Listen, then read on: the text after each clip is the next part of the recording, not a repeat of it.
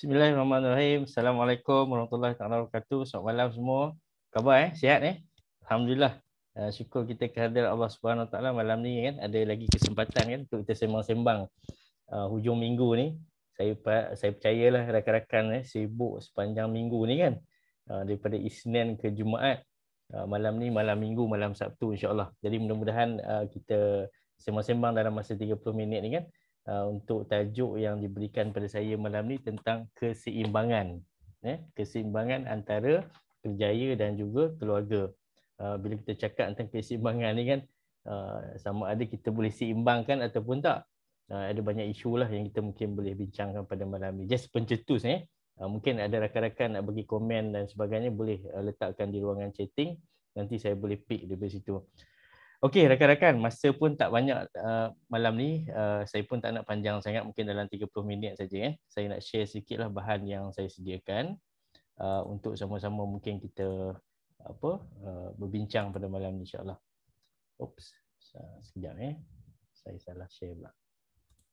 Okey. Right, apa khabar semua eh? Sihat? Dah makan ke belum ni eh? ada yang belum makan ke? Ada yang uh, dah makan. Ada yang terlebih makan tak? Uh, ini pun isu juga kita nak bincang malam ni ya.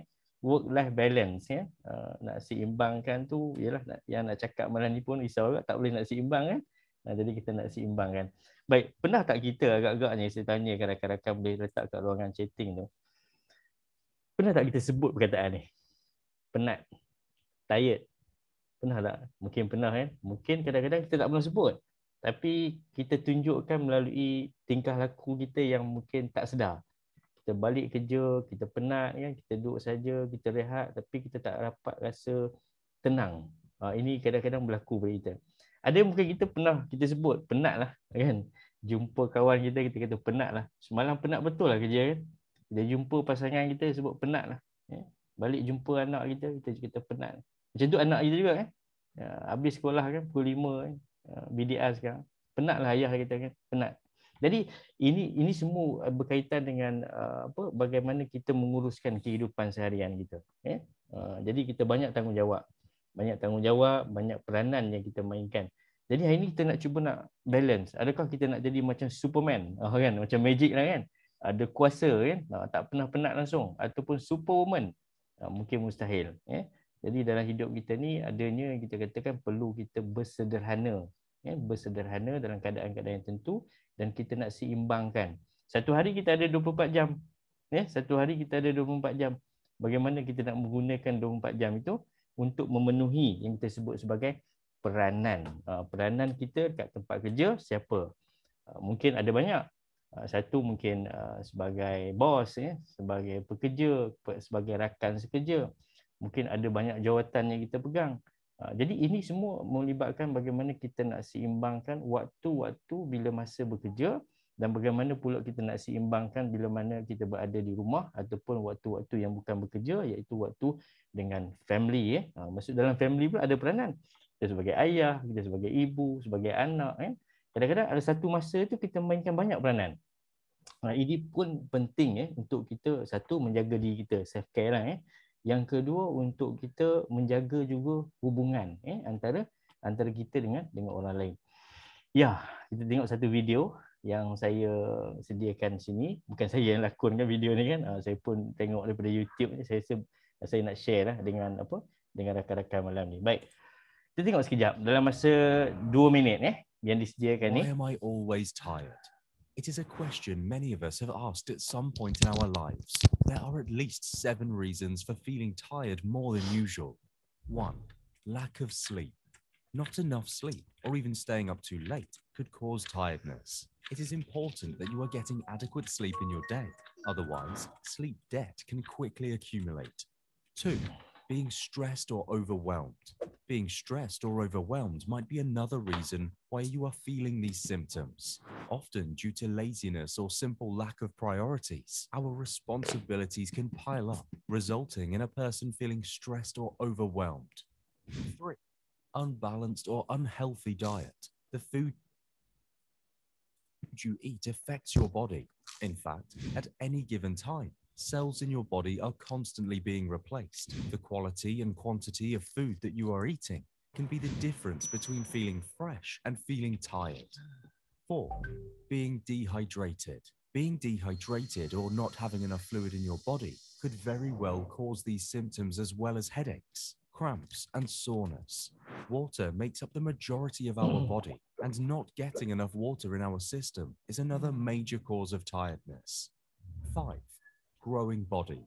Depending on your age, this could just be your body growing or using more energy than what you were used to, resulting in your feeling of tiredness. Six, too much exercise or work. Overdoing something, whether it is at home or work, could cause you to feel like you have no energy left afterwards, or in this case, like you are always tired. Seven, heat or sickness. Spending a lot of time in very warm or humid environment can result in feeling of tiredness as your body recovers. Also, there could be an underlying disease causing your body to be devoid of energy and feeling tired. If you are chronically feeling tired, then it is a good idea to get it checked with your doctor, as it could be a symptom of some disease affecting your body.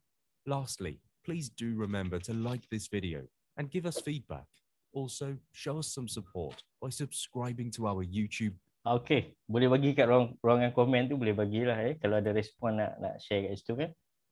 Uh, kadang confuse eh kesan lama berkurung covid ke sebab body dah penat. Selalu penat kan? Pernah eh alhamdulillah. It's normal eh, it's normal eh. Jangan rasa bila kita penat tu kita kita dah tak normal. Sebenarnya masih lagi kita boleh control. Tapi kalau kita tengok dalam apa uh, video tadi tu kan dia lebih pada faktor ada faktor psikologi dan juga ada faktor uh, melibatkan kesihatan fizikal kan.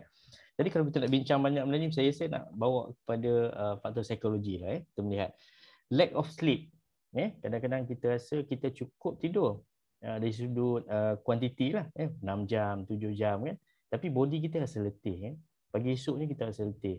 Hari kedua pun sama juga. Hari kedua pun sama juga. Jadi kita kena betul-betul identify lah problem tu kadang-kadang datang daripada uh, sumber mana.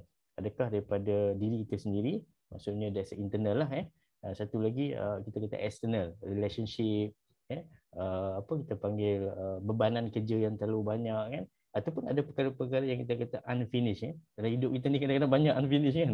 Unfinished dengan diri sendiri, rasa tak puas hati betul lah kan. Uh, tak puas hati dengan kawan, tak puas hati dengan uh, keluarga, tak puas hati macam-macam eh. Itu yang kadang-kadang mengganggu kita. Faktor yang kedua kita tengok tadi stres. Uh, ini memang berlaku bagi setiap saya rasa ramai dah rakan-rakan kita share tentang kesihatan mental tentang stres eh, bagaimana kita nak control kan. Jadi kita kena pastikan kita aware dan uh, kenal pasti simptom tu eh. Kenal pasti simptom tu supaya kita tahu eh stres kita itu berada pada stage mana. Uh, kalau kita dah rasa macam dah hilang tumpuan, tidur pun memang tak cukup ataupun sangat letih pada esoknya, uh, ini pun kita kena kena pasti awal. Yang ketiga sebut tadi unbalance. Unbalance in term of the kita panggil healthy eh. Uh, maksudnya pemakanan kita kan seimbang ataupun tak. Ya, ini pun mungkin berlaku. Saya tengok kadang-kadang anak-anak saya kat rumah macam tu juga eh. Bila duduk kat rumah kan, bila uh, belajar daripada rumah dan sebagainya, maka kadang-kadang tu makanan mereka pun kita tak terjaga sangat. Eh, kita pun sibuk dengan kerja dan sebagainya. Ini juga ada faktor ni ya. Ada lagi banyak-banyak faktor lah yang keempat tadi growing body, so too much exercise pun boleh berlaku juga kan. Uh, jadi ini merupakan sebagai salah satu yang kita kata penat tadi tu kan. Penat, penat. Jadi kita kadang-kadang bila kita sebut penat ni, apa yang kita buat? Uh, itu boleh tanya lah, kita boleh tanya kan, tanya soalan kawan-kawan kat sini kan. Bila kita balik kerja ataupun habis kerja kat rumah dah siap apa semua, kita selalu kita penat lah. Esok dah plan dah ni, plan dah. Esok ni Sabtu Ahad kita nak buat ini, nak buat ini, nak buat ini. Jadi bagaimana kita nak mengurus penat itu? Uh, itu penting kan. Uh, penat tu perkara biasa. Kita letih seharian kerja, balik nanti kena fokus lagi untuk uruskan hal-hal family pula kan. Lepas tu weekend nanti ada lagi uh, apa tugas-tugas aktiviti-aktiviti yang melibatkan kita mungkin terlibat dengan kemasyarakatan, eh, social activity dan sebagainya. Penat lagi kan. How untuk mengurus penat itu eh, dalam kehidupan seharian kita dan di sana adanya kita kata self care. Uh, jadi untuk di sini juga eh. Ada orang self care kita buat apa? Ada setengah orang tu dia kata self care okey hujung minggu ni nak pergilah bercuti. Tapi sekarang tak boleh cuti kan? Hujung minggu ni nak tidur cukup-cukup lah. Uh, nak, dia kata make sure bila tidur cukup ni banyak tidur dia akan dapat the quality of sleep. Uh, jadi uh, Syukri kata ni apa ni ajak pasangan jalan-jalan eh. Siapa eh Zaimas kata ajak pasangan jalan-jalan pusing-pusing taman think it's good eh. Yang paling penting kita berkongsi minat yang sama eh. Dua-dua rasa happy eh. Ajak family sendiri sekali kan uh, self care Lily kata melukis. Eh it's good eh. Eh kita mengurus diri kita bagaimana nak nak nak mengimbangi kepenatan itu dengan adanya self care melukis eh. Dia, dia sebenarnya untuk mengimbangi ni kan kadang-kadang kita lihat kan kita kita bukan tak seronok kerja kita itu seronok. Eh kerja memang tak akan habis eh? sebab tu kita letakkan sasaran kita kan. Minggu ni kita nak capai apa. Tapi bila sampai satu masa tu kita need to rest juga. Macam balik petang pukul 5 kan pukul 5 satu minit tu oh time to family. Time to untuk personal kan jadi akhirnya kita nampak kita berjaya mengurus kepenatan itu dengan baik. Right. Berbalik kepada apa yang kita kata tadi macam tanam pokok eh. apa ni? Saya melalak kat wis apa okey balik kerja tu weekend.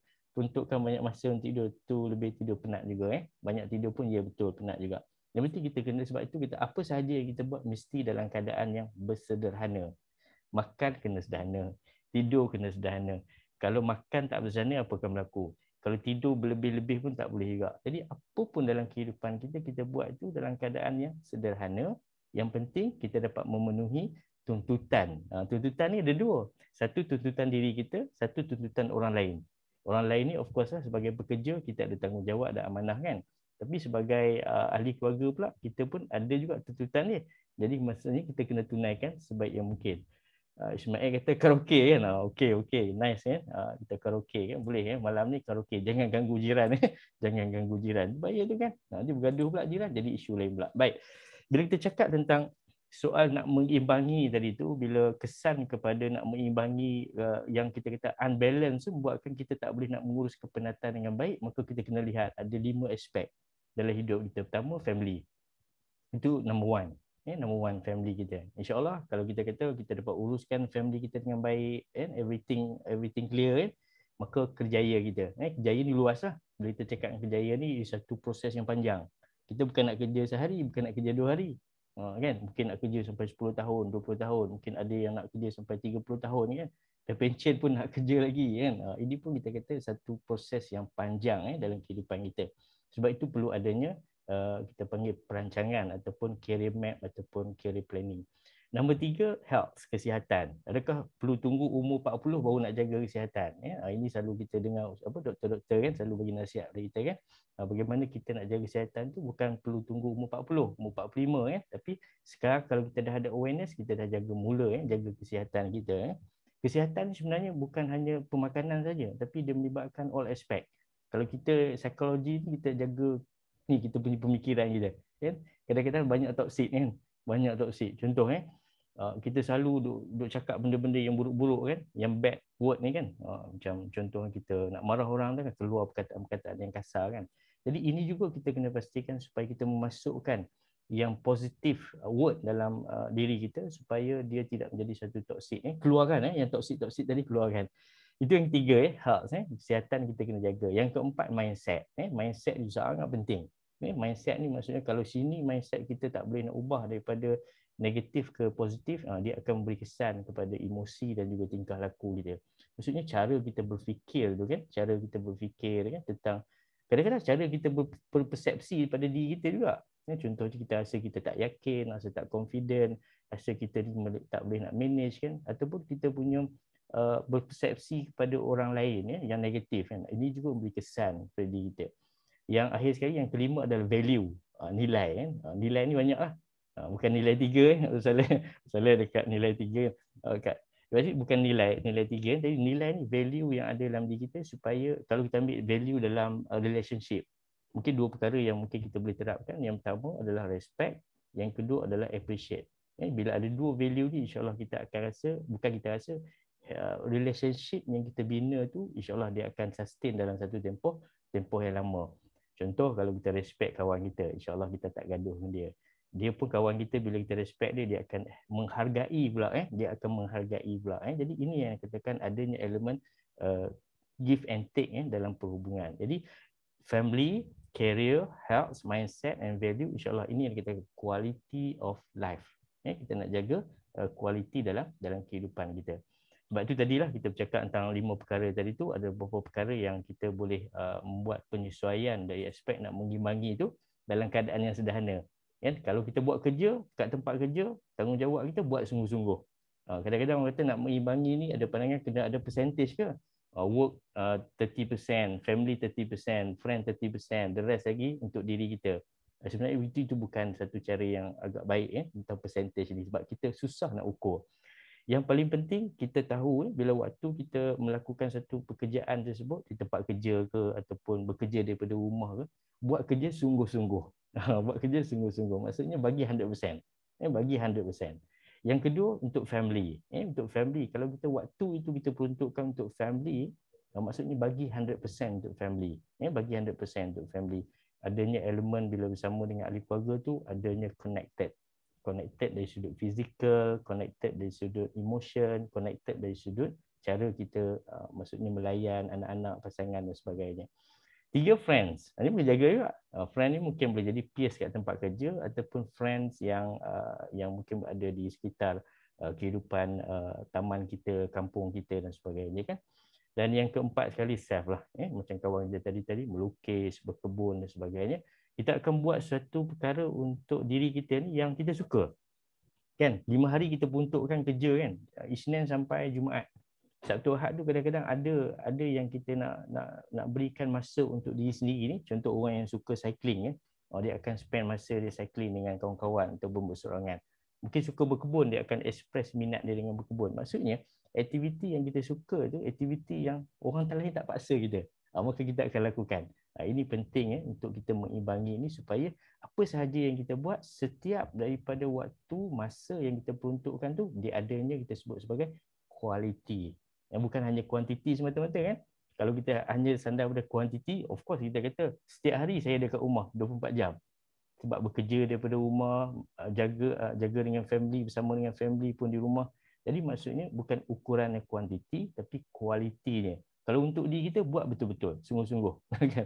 Basikal berkebun bersungguh-sungguh, eh? melukis bersungguh-sungguh. Untuk kawan begitu juga, untuk family dan juga untuk pekerjaan kita. Eh? Jadi ini yang kita katakan bersederhana ataupun mengimbangi suatu perkara yang kita buat itu adalah lebih baik. Eh? Baik, uh, kita cakap tentang work from home. Eh? Sekarang ni dah dua tahun lebih, uh, kita dah boleh adapt dengan baik. Eh? Proses adaptation kita belajar. Dia ambil masa yang agak panjang. Mungkin masa awal-awal dulu kita mungkin tiga bulan, empat bulan pertama tu kan dah rasa susah eh. Macam mana nak bawa balik kerja-kerja yang ada kat, kat, kat office tu nak buat kerja kat rumah kan.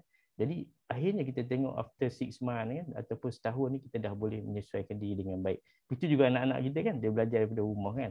Ha, jadi ini pun adalah bagaimana kita nak buat penyesuaian. Dalam nak buat penyesuaian juga kadang-kadang kita perlu adanya uh, flexibility. Eh. Percaya tak eh? Setuju tak eh? Flexibility ni penting eh? Sebab perubahan berlaku dengan cepat. Kan? Jadi kita kena fleksibel lah peraturan yang kita tetapkan di tempat kerja, peraturan yang kita tetapkan di rumah, kan? peraturan untuk diri sendiri. Kan? Kalau fleksibel ni selalunya dia punya versus rigid. Uh, rigid ni kadang-kadang orang tak suka. Uh, kita suka tak? kalau kita suka kadang-kadang kita membuatkan orang lain tak suka lah kalau kita meletakkan satu-satu peraturan yang sifatnya rigid. Jadi be fleksibel dengan diri kita dan juga be fleksibel juga dengan orang lain. InsyaAllah kita dapat Uh, apa, menyesuaikan diri dengan baik kan dalam persekitaran pekerjaan. Okey, bila kita cakap tentang peranan ni kan, banyak peranan ni saya kata tadi. Peranan tempat kerja tu mungkin ada setengah orang tu sampai lima, sampai enam, sampai tujuh kan. Ada setengah orang tu lebih hebat lagi. Macam Superman atau Superwoman kan. Oh, peranan dia berbelas-belas di tempat kerja. Ya. Kemudian peranan pula di rumah ataupun dalam keluarga pun banyak juga peranan. Jadi bagaimana peranan kita? Eh? Mungkin kita boleh senaraikan. Bila kita senaraikan, Uh, ini satu tip eh, macam mana kita nak senaraikan. Kita letakkan by ranking. Ini by ranking. Sebab itu bila kita letak by ranking, kita boleh bagi priority, keutamaan. Contohnya kalau kita kata bangun pagi kan. Bangun pagi tu, kita start kerja pukul uh, 9 katakan. Hmm? Kita kena letak priority dulu. Dalam pukul 9 tu, sampailah kita kata pukul 5 petang kita kerja. 9 hingga 5 walaupun kerja di rumah. Kita letakkan priority. Apa yang kita perlu buat dahulu dan apa yang kita perlu buat kemudian bila kita letakkan prioriti, pertamanya kita dapat uh, menyelesaikan eh, suatu isu dan masalah itu. Sebab itu kita kata uh, stres ini, stres ada positif, ada negatif. Yang stres yang positif inilah yang kita kata kita dapat menguruskan stres itu dengan uh, tugas-tugas yang kita perlu laksanakan tu kan dapat diselesaikan dengan baik. Jadi akhirnya sampai pukul 12 kita dah selesai dah 2 3 perkara. Jadi ini kita katakan buat kerja sungguh-sungguh kan. Buat kerja sungguh-sungguh. Peranan kita susun, kita kita main. Jadi insya-Allah kita akan dapat uh, selesaikan dengan baik. Uh, ada saya baca satu buku kan. Uh, saya tak ingat buku tu tentang uh, apa macam motivation juga lah eh. uh, penulis dia saya tak ingat. Uh, dia sebut tentang uh, kita banyak uh, selesaikan tugas kita di awal pagi. Uh, di awal pagi is the best. Di awal pagi maksudnya kita mungkin kita bangun awal, awal kan pukul 5 ke pukul 6 kan. Maksudnya selepas daripada kalau kita orang Islam ni selepas daripada kita selesaikan tanggungjawab kita solat tu okey waktu tu waktu yang the best untuk selesaikan tugas kita. Uh, sama ada dalam pekerjaan ke urusan keluarga ke kan ataupun urusan diri sendiri kan uh, nak melukis. Uh, waktu tu melukis dulu kan uh, supaya kurang-kurangnya paling tak pun selepas kita melukis tu tapi nak berkebun tak boleh lah awal sangat kan. Nanti orang kata pelik betul kan jiran kata dah tak betul lah ni kan pukul 6.30 pagi dah mula dah mula berkebun dah. Baik senaraikan eh. Kita cuba senaraikan. Sebab itu kita kata bila kita aware tentang peranan kita di rumah contohnya sebagai ibu sebagai suami sebagai isteri sebagai ayah sebagai anak dan actually kita pun sebagai sebagai sebagai anak eh, yang kita ada parents kita yang kita kena jaga kan. Jadi insyaAllah kalau kita boleh mengimbangi tanggungjawab ini dengan sebaik yang mungkin, maka uh, penat tadi tu memang penat eh, untuk menjaga, untuk menguruskan uh, peranan-peranan kita ni memang penat. Tapi sekurang-kurangnya penat yang kita kita lalui sepanjang hari ataupun sepanjang minggu itu uh, kita mungkin boleh uh, boleh riliskan eh, dengan aktiviti-aktiviti yang kita kata self care tadi tu kan. Alright. Okey, adakah kita boleh balance ataupun wujudnya konflik? Now konflik kita bercakap konflik ni dia ada dua yang boleh kita uh, pelajari. Yang pertama konflik when dia berlaku konflik kita kena ada kemahiran how to the intervene. Uh, contoh kita bergaduh dengan uh, rakan sekerja, bergaduh dengan bos ataupun berbeza pendapat dengan bos, berbeza pendapat dengan rakan sekerja, bergaduh dengan jiran, bergaduh dengan pasangan. Eh konflik itu berlaku eh. Sebab apa konflik berlaku? Sebab berlakunya perbezaan idea. Perbezaan idea, perbezaan pandangan, perbezaan value, perbezaan Uh, belief eh kepercayaan. Bila berlaku perbezaan-perbezaan ini, maka selalunya kita perlu ada kemahiran untuk mengurus konflik. Uh, satu antaranya kita perlu ada kemahiran negotiate. Eh, kemahiran berunding, eh berunding, eh itu penting kan. Kalau kita kurang kemahiran berunding itu sebab tu konflik itu dia akan ambil masa yang lama. Semakin lama konflik itu tidak diuruskan dan tak ditangani, dia akan menjadi semakin worse. Maksudnya masalah itu akan lebih besar, lebih besar, lebih besar. Eh? Satu lagi kita boleh prevent konflik. Ya, prevent konflik maksudnya kita boleh uh, mengurus satu mengurus konflik, satu kita boleh mencegah konflik itu daripada berlaku. Eh.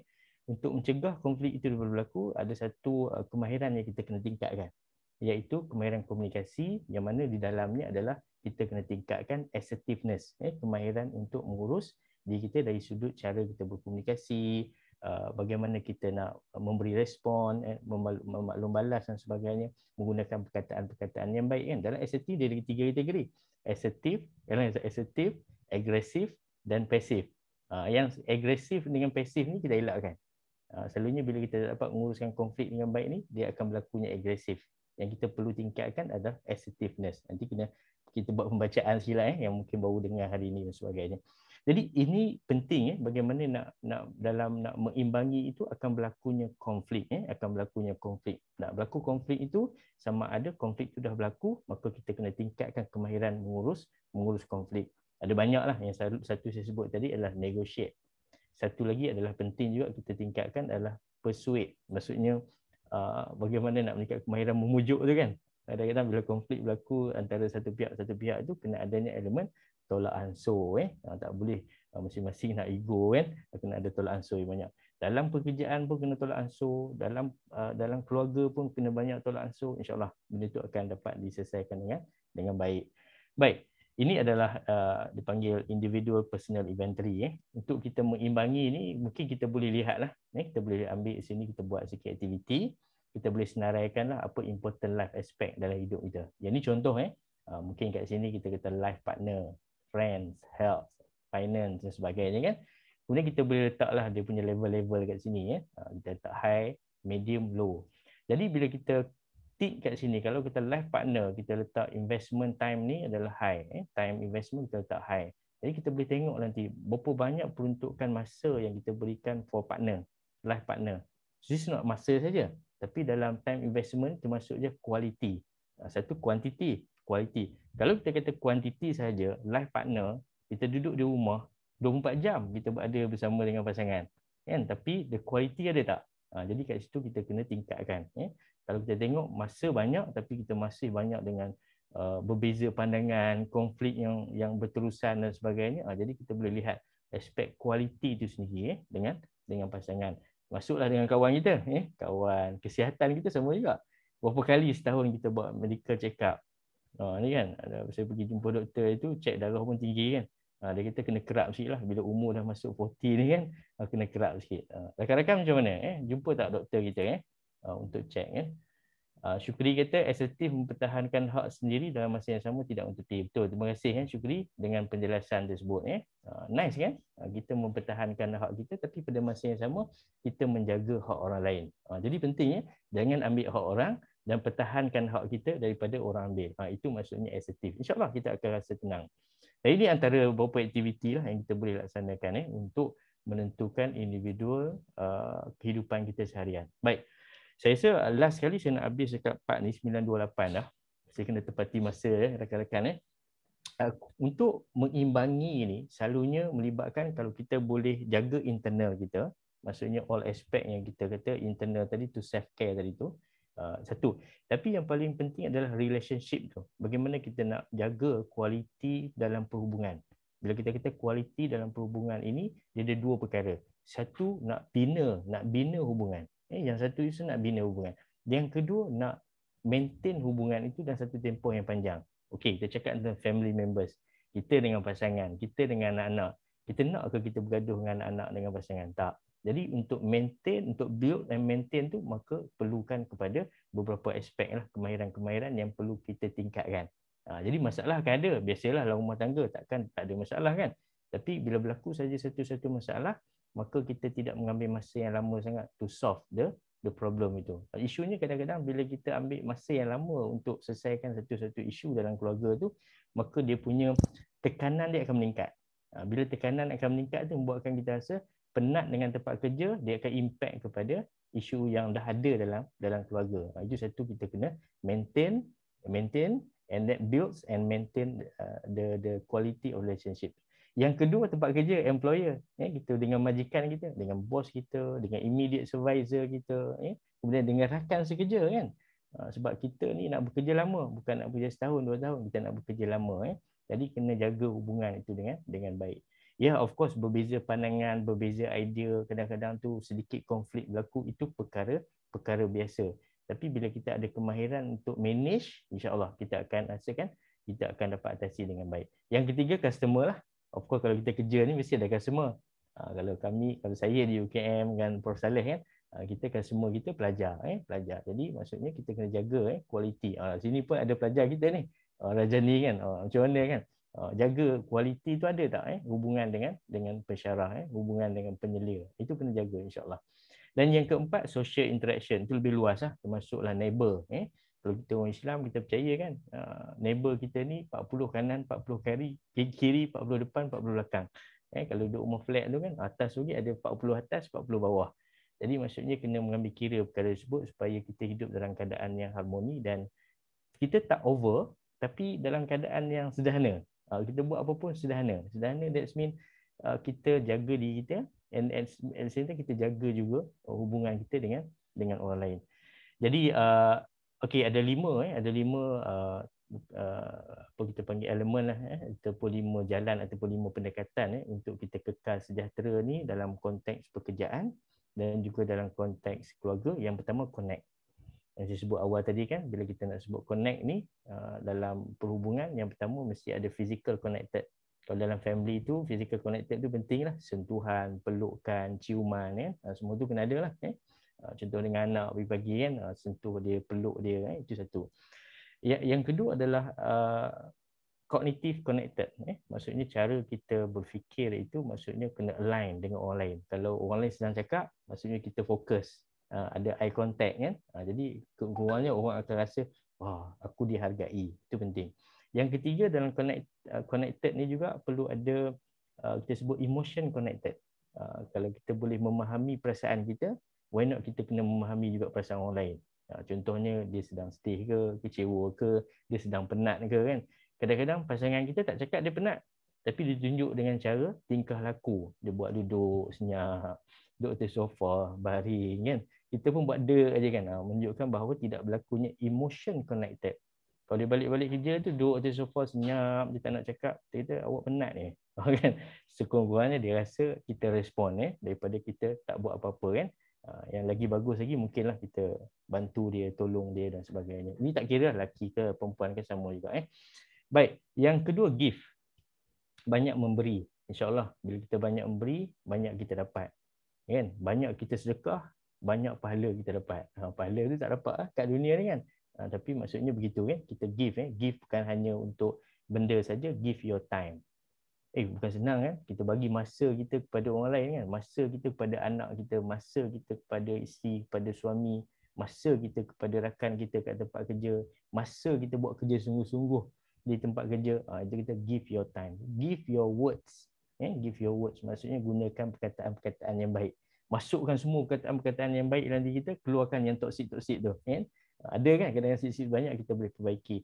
Ah, yang ketiga adalah give your presence. Eh? Ah, kalau kita duduk kat rumah tu, kualiti ah, bersama dengan pasangan tu ada. Kalau kat tempat kerja sama juga. Eh? Lepas ni kalau boleh masuk kerja, janganlah missing in action. Kan? Log in, lepas tu tak ada sebab petang, log out. Eh? Itu tak nak. Eh? Semuanya kita tunjukkan keberadaan kita tu kan. Give eh? keberadaan kita. Yang ketiga, take notice. Eh. Remember, eh. kadang-kadang kita buat satu perkara itu, kita kena anggap serius. Uh, serius. Kalau dengan buat kerja, serius. Eh. Buat apa? Eh. The simple thing yang kita buat tu kena serius. Eh. Walaupun kecil. Eh. Kita serius, kita akan enjoy. Kita rasa gembira. Kalau dalam dalam uh, dengan pasangan dengan anak-anak pun, kalau kat rumah, maksudnya kita kena sentiasa berikan tumpuan dan serius. Uh, jangan tak serius kan. Bila kat rumah, kita fikir tentang kerja. Bila datang tempat kerja, fikir tentang rumah. Uh, jadi ini yang tak sesuai. Eh. Yang keempat adalah keep learning lah. Eh. Maksudnya sentiasa kena uh, belajar benda yang baru. Ada keinginan eh, untuk belajar benda yang baru setiap hari. Kadang-kadang kita ni, kadang-kadang kami pun kadang-kadang pesyarah kan. Belajar daripada pelajar. Oh, saya belajar dengan Raja ni contohnya. Raja ni hebat ni. Oh, saya sebut nama dia malam ni kan sebab nampak dia kat situ. Raja ni ada tak? Okey, keempat eh. Yang kelima adalah be active eh. Maksudnya do what you can eh. Enjoy what you do. Move your mood. Uh, InsyaAllah kita boleh uh, urus diri kita dengan dengan baik. Jadi uh, last sekali, tadi dah last lah, ni last sekali. Ini adalah uh, 12 step uh, to kekal bahagia, kekal gembira. Tapi kadang-kadang saya kata bukan hanya kekal bahagia dan gembira je. Kena masukkan satu lagi elemen kekal sihat. Uh, kan? Dalam keadaan sekarang ni, kalau kita happy tapi tak sihat, tak boleh juga. Kalau kita sihat, kita tak happy, tak boleh juga. Jadi kena ada dua-dua, kena related. Sihat ni dia ada kaitan dengan dua perkara. Iaitu sihat dari sudut psikologi, sihat dari sudut fizikal. Kan? Kadang-kadang sihat, tak sihat psikologi dia impact kepada tak sihat fizikal. Kadang-kadang tak sihat fizikal impact pada psikologi. Contoh kalau orang yang isolate disebabkan COVID kan. Kita pernah tanya lah kawan-kawan kita kan kat sini kan mungkin ada yang pengalaman dan sebagainya. Bila isolate ni dia rasa macam isolate ni maksudnya kena buat self quarantine kat rumah ke ataupun quarantine kat tempat quarantine ke. Dia rasa dia rasa terasing.